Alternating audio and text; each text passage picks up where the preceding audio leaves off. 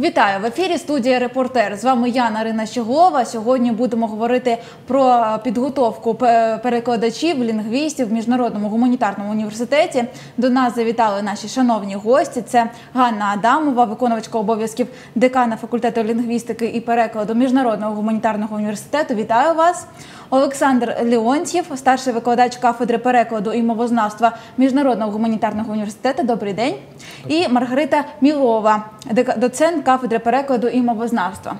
Е, Дуже рада вас бачити. Знаємо, що професія перекладача це дуже затребувана професія, високооплачувана та цікава. Не може бути такого, що вже померла ця професія. Вона тільки починає свій кар'єрний, так е, можна сказати, зріст. Так хочу е, запитати у вас спочатку, Ганна. Розкажіть про факультет та можливості, які є у студентів, про вступну кампанію. Чи багато вже е, абітурієнтів вирішили стати студентами міжнародного гуманітарного університету та пов'язати своє життя з лінгвістикою? Добрий день. Э, Знание иностранных языков является неотъемлемой частью э, успешной карьеры. Выпускники факультета лингвистики и перевода имеют широкую область э, применения своих знаний на практике. На факультете лингвистики и перевода есть два направления. Это восточное направление, восточные языки, такие языки, как китайский, где уже с первого курса на факультете преподают носители языка, волонтеры из Китая. Студенты на первом курсе уже могут погрузиться в языковую среду и преодолеть языковой барьер. Э, Это арабский язык, и с этого года стало возможно изучение корейского языка. Также есть европейское направление, Это такие языки, как английский, немецкий, французский. И в этом году мы подписали договор с э, культурно-образовательным центром Данте Алигьери, который позволит нашим студентам изучать итальянский язык в качестве третьего иностранного языка. Э, 1 августа стартует вступительная кампания. Э, Абитуриенты начнут регистрировать электронные кабинеты и уже с 13 августа будут подавать электронные заявления. Э, Подавая электронное заявление на специальность 035 филология, абитуриент указывает в своем заявлении только один иностранный язык. Второй иностранный язык по выбору. Если вы выбираете английский язык в качестве первого иностранного языка, то второй язык иностранный можно выбрать. Это будет либо немецкий, либо французский. Если вы указываете немецкий или французский, то второй иностранный язык это английский. Указывая в электронном заявлении китайский язык, вторым иностранным языком будет английский. Преимущество нашей образовательной программы заключается в том, что э, по окончанию четвертого курса студентам присваивается квалификация филолога, переводчика и учителя двух иностранных языков. Э, Благодаря большому количеству практик и различным видам перевода по окончанию четвертого курса студенты трудоустраиваются. У студентов э, есть возможность совмещать работу и образование благодаря свободному графику. На факультете мы уделяем отдельное внимание стажировкам за границей. В этом году при поддержке президента университета, академика Сергея Васильевича Кивалова, был подписан меморандум между э, педагогическим университетом города Шанхая и Международным гуманитарным университетом, что позволит э, нашим студентам от семестра до года э, учиться э, в Китае. Э, Также мы сотрудничаем с общественной организацией Alliance Française. В этом году на протяжении трех месяцев э, у нас был лектор в гостях э, из университета, господин Даблеш из университета Гренобль, эм, который проводил практические занятия, семинарские занятия, разговорный клуб э, для студентов, интересующихся французским языком. Также немецкий язык э, набирает свою популярность. Мы сотрудничаем с ДАД, это немецкая академическая служба обмена студентами которая позволяет э, бесплатно обучаться в Германии от одного месяца до года. Германия является лидером э, стран среди э, иностранных студентов, поэтому э, бесплатные программы бакалавров и магистров возможны как на английском языке, так и на немецком языке. После окончания четвертого курса студенты наши, бакалавры, поступают в магистратуру. Магистратура есть как дневной формы обучения, так и заочной формы обучения. Дневная форма длится 3 семестра, заочная форма обучения длится 4 семестра.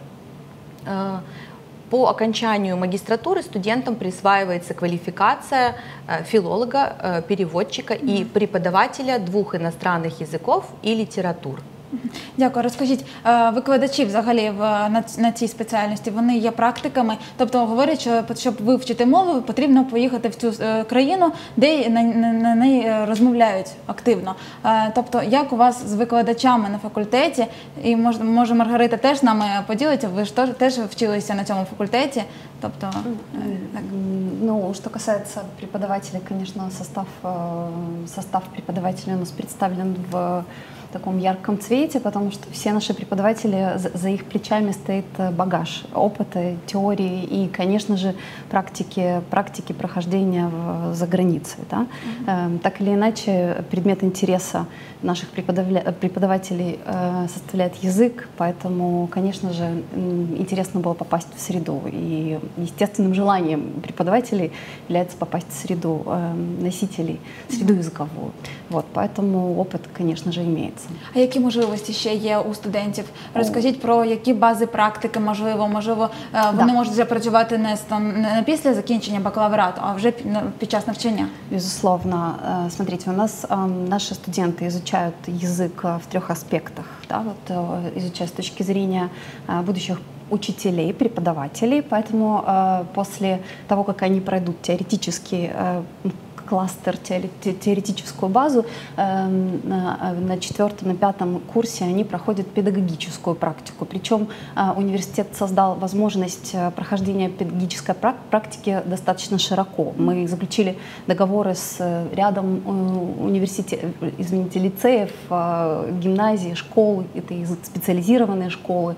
Вот. А также э, студенты наши изучают лингвистику и основы перевода. И поэтому представлена также педаг- э, переводческая практика. Вот. И переводческую практику они проходят у нас э, на базах э, и бюро переводов, и департаменты переводов, и также общественные организации, среди которых вот есть, ну, моим персональным любимцем есть вот организация архитектура Одессы. Студенты в этом году оказали непосильную, пос- вернее, посильную помощь. А, Они помогали этой организации представлять наш город для иностранных туристов. Вот, а, переводя всю э, информацию о нашем культурном наследии. Вот, поэтому возможностей у студентов много, и надо сказать, а, отличительной особенностью вот нашего факультета, нашей гордостью является то, что э, студенты проходят вот, э, в рамках изучения основного иностранного языка, они изучают э, э, основы туризма. То есть мы выпускаем не только лингвистов, не Цикаво. только переводчиков, но и экс- гидов-экскурсоводов. И надо сказать, что м, уникальным является, э, уникальной является форма контроля э, этих знаний, поскольку наш экзамен проводится вне, не в стенах э, вуза, а непосредственно в качестве экскурсии. Практически. Практической экскурсии. И я вам хочу сказать, что вот два года назад у нас за- занимательная ситуация была, когда, когда во время экзамена к нам подбегает, слыша, слыша работу наших студентов, во время экзамена к нам подбегает представитель какой-то экскурсионной компании и просит э, и с вопросом, где вы, где вы взяли таких, вот нам нужны такие э, кадры, пожалуйста, поделитесь инфор- информацией контактной. То есть наши студенты, безусловно, с легкостью имеют возможность найти трудоустройство. Дякую. Олександр, розкажіть, от ви перед початком ефіру мені сказали, що переклад не вмирає. Розкажіть вашу думку стосовно цього і скажіть, які можливості є е, у студентів. Тобто, переклад це не тільки перекладати тексти, а це багатофункціональна така професія. І що ви з приводу цього думаєте? Зацікавте студентів. Да, вы правы. Э, ну, Я это знаю и как сам специ- как специалист, как профессионал. А, Потому что я очень много-много лет э, переводил и последовательно, и синхронно, и, и письменный перевод, скажем так, осуществлял.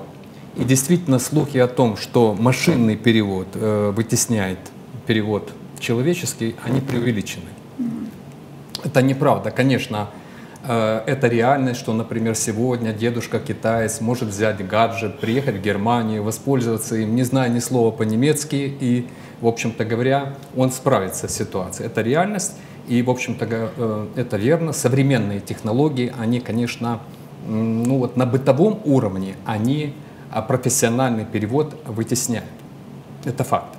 Но есть сферы применения перевода, где, а, я считаю, э, востребованность в человеке, она, ну, если не навсегда, а, останется, то очень на длительную перспективу. Ну, например, работа в суде. Я вам хочу сказать, например, в Соединенных Штатах э, и вот это, именно юридический перевод рабо- в, в суде это для того, чтобы переводить в суде, нужно получить специальную, специальную э, лицензию. То есть это у них считается высшего пилотажа перевод. Э, Мне сложно себе представить, и я не имею в виду сейчас, э, собственно, там разбирательство какое-то уголовное или так далее. Вот это элементарные вещи, которые происходят сейчас в Одессе. Например, нужно усыновить, удочерить ребенка, приезжают, допустим, люди из-за границы, ты подготавливаешь документы, ты работаешь, собственно э, говоря, в суде, на площадке, и, и документацию подготавливаешь. Конечно, вряд ли это в ближайшем будущем смогут делать биороботы. То есть мы, конечно, здесь необходимы совершенно. Я уже не говорю о художественном переводе, да, то есть Шекспира, вот, и какие-то э, традиционные прозаические вещи, которые переводятся из поколения в поколение, мне сложно представить, что их будут переводить когда-то какие-то сущности нече- нечеловеческие.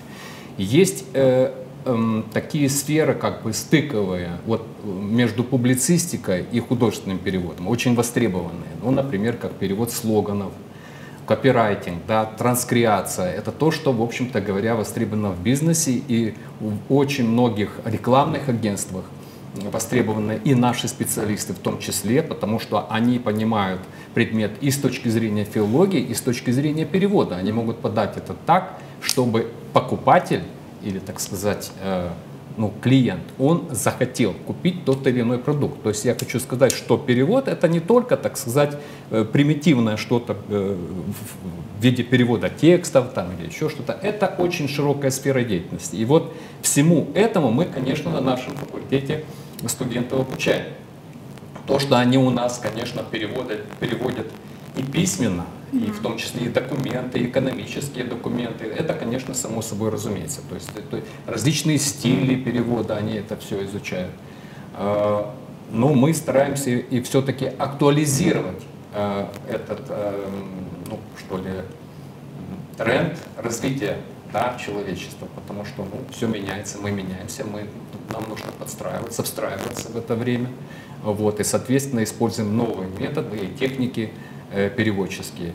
Э, Конечно, нельзя здесь не упомянуть синхронный перевод. То есть Це, последовательно. це взагалі это, дуже складно. да, Я да, захоплювалася да. завжди людьми, які так швидко перекладають. Ну, это есть такое вот, если у вас есть такое свойство, вы можете предугадывать то, что говорят ваши друзья там, или родственники, значит, у вас есть склонность к тому, что переводить синхронно. Да? Круто. Ну, мы иногда можем это делать в отношении наших близких, например, да, там, детей, там, скажем, Так. жен или мужей, мы уже знаем, что они могут сказать.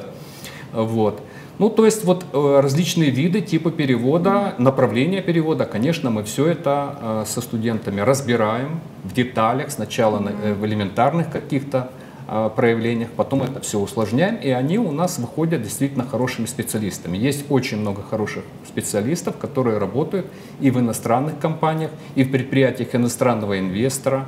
А Вот, я просто вижу их иногда, вот они там ездят отдыхать на те курорты, на которых я не был никогда, понимаете? То есть вот, ну, благодарят нас, что мы смогли как бы дуже научить их приємно. чему-то. Да. А Підводячи підсумки, Ганна, розкажіть, що потрібно зробити студентам, абітурієнтам, які хочуть потрапити на ваш факультет. Тобто в цьому році все в електронному форматі, я так розумію.